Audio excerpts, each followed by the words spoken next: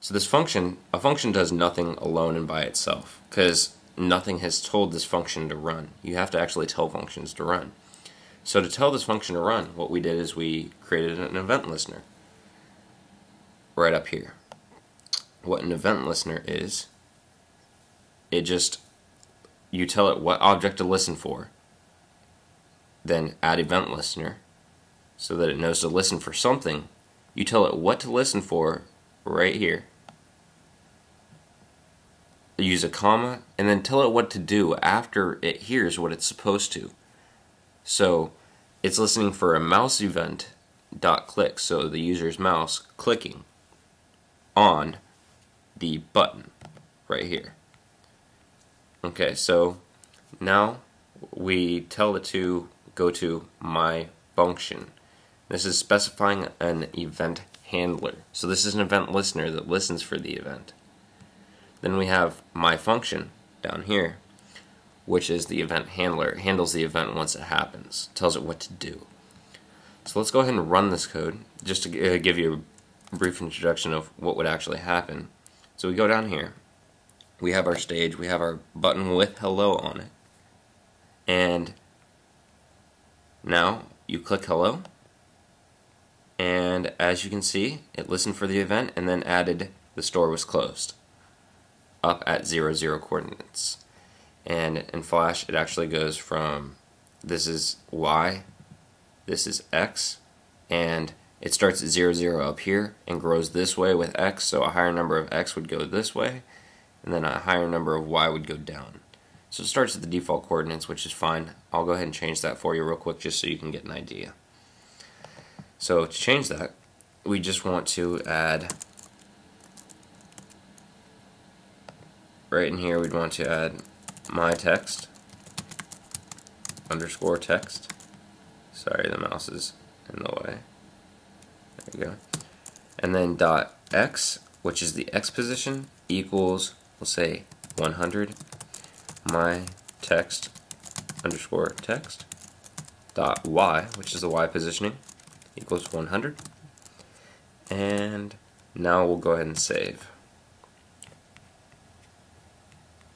Okay, I'm actually going to cancel because you don't need to save to run the program.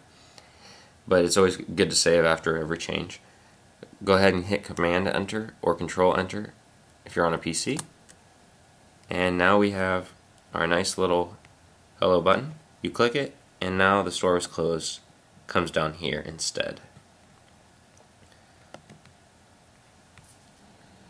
Alright, so moving on. I'm going to show you how to do comments real quick. There's two ways to do comments. There is doing a block of comments, which is where, like, say you wanted to highlight out multiple lines. How you highlight out multiple lines is you do a forward slash star and then a star forward slash. And all of this is a comment.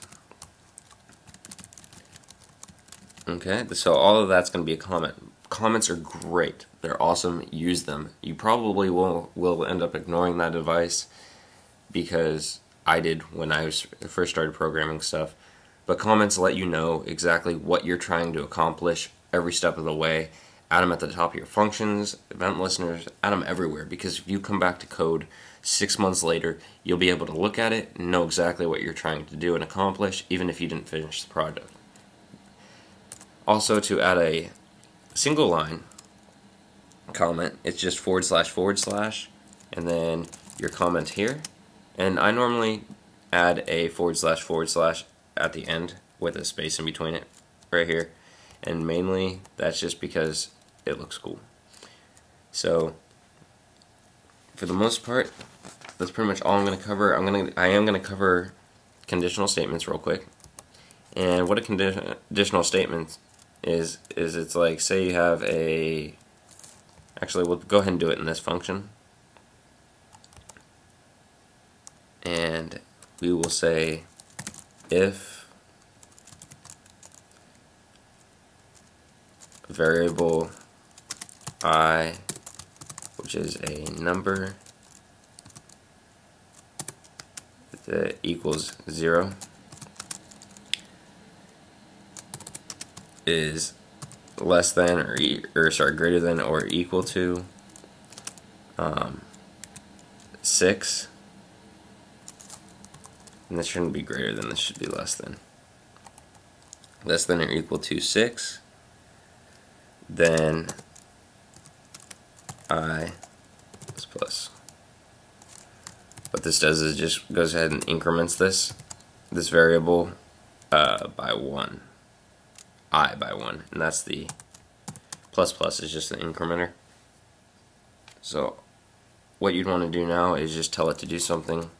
Trace i trace statements are something that I should have gone over a little bit earlier. Basically it allows you to trace inside your program without outputting it to where the user can see it but you can see it in your output window. Go ahead and show you that assuming that this works okay which it does not. One second here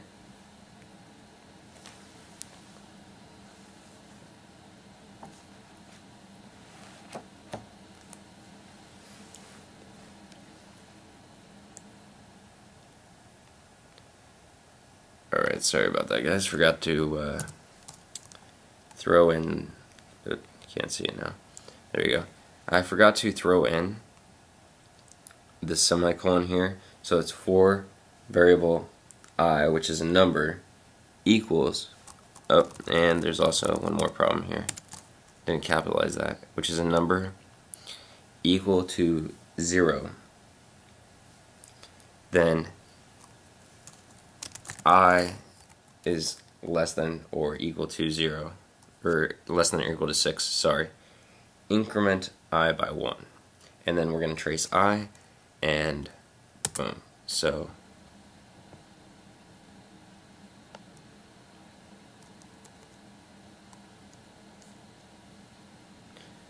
oh, I'm sorry. There's also another problem. I'm trying to show you an if statement when it should be a for statement. There we go. Okay. So now we should be able to go to our output window and when I click hello it'll tell it to go ahead and initiate that function which shows 0, 1, 2, 3, 4, 5, 6 incrementing the value by 1. So there's a, basically a conditional statement. Um, this is actually a loop. So I'll go over uh, conditional statements, which is basically more along the lines of if 5 or if my text underscore text uh, dot y equals 100 or sorry that's x equals 100 then do this. And what I'm going to tell it to do is trace my text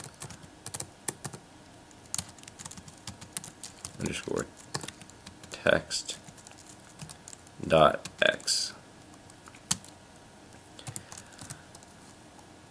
and then else?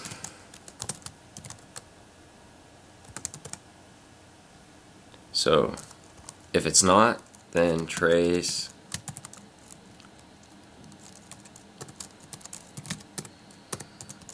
please check x value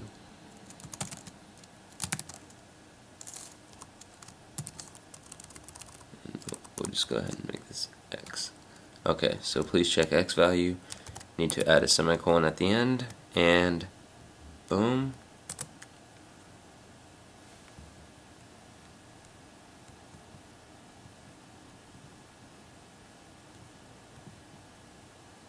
Uh, one second here.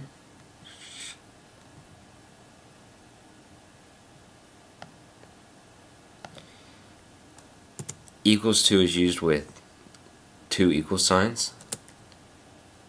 So you want to make sure that you do that and not just use one like I did. I forget quite often.